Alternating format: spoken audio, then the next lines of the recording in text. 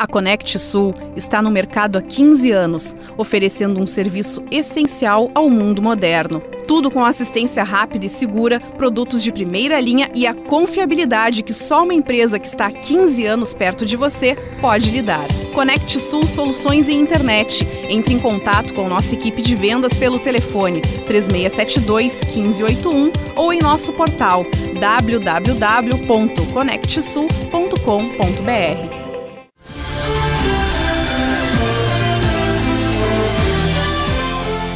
Boa noite, começando agora o Expresso Regional com as principais notícias da região centro-sul do estado nessa terça-feira, 26 de junho. Em Cristal, no quilômetro 437 da BR-116, ocorreu um acidente no sentido interior capital entre dois caminhões, uma Scania com placas de Camaquã e um Volkswagen com placas de Pelotas, o que resultou no óbito do condutor desse último de 38 anos. Segundo o relato, o primeiro executou uma manobra irregular para acessar uma propriedade lindeira e o outro, que vinha logo atrás, colidiu na lateral direita do caminhão. Ele acabou saindo da pista e colidiu contra uma parada de ônibus. O motorista acabou falecendo no local. Faltando menos de uma semana para acabar o prazo para sacar o abono salarial do PIS-PASEP ano base 2016, 2,2 milhões de trabalhadores ainda não retiraram o benefício. Cerca de 1,6 bilhões de reais está disponível para saque na Caixa Econômica Federal e no Banco do Brasil, de todo o país segundo dados do Ministério do Trabalho. Quem tem direito ao benefício, mas não procurar uma agência bancária até essa sexta-feira, dia 29 de junho, irá perder o dinheiro. E o movimento assistencial de Camacuã, o Macan, arrecadou cerca de 25 mil peças de roupas em sua tradicional campanha do agasalho. A entrega dos donativos ocorre nesse sábado, dia 30, às 8 da manhã, na sede da Secretaria Especial da Mulher, do Trabalho e Desenvolvimento Social, localizada na rua João de Oliveira, número 55. Já em Tapes, a campanha do Agasalho 2018 segue firme. Você pode deixar a sua doação aqui na redação da Lagoa TV ou então na sede da CITA, no centro da cidade. Essa campanha é uma parceria do Rotary, Consulado do Grêmio, a CITA e, claro, Lagoa TV.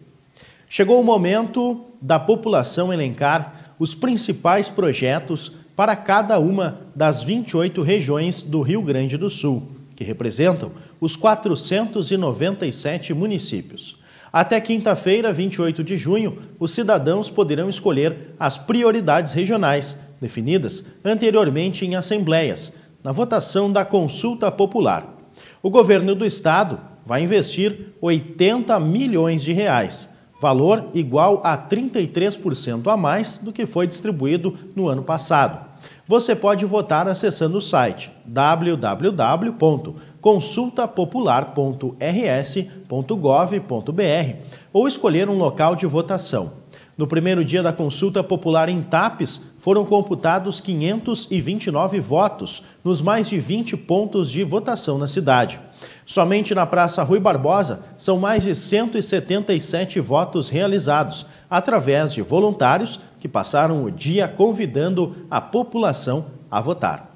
E amanhã será o dia do desafio. Neste ano, o SESC movimenta oito municípios da região centro-sul da sua área de abrangência para o dia do desafio. Arambaré, Tapes, Cerro Grande do Sul, Sentinela do Sul, Amaral Ferrador, Chuvisca, Dom Feliciano e Cristal, além de Camacuã.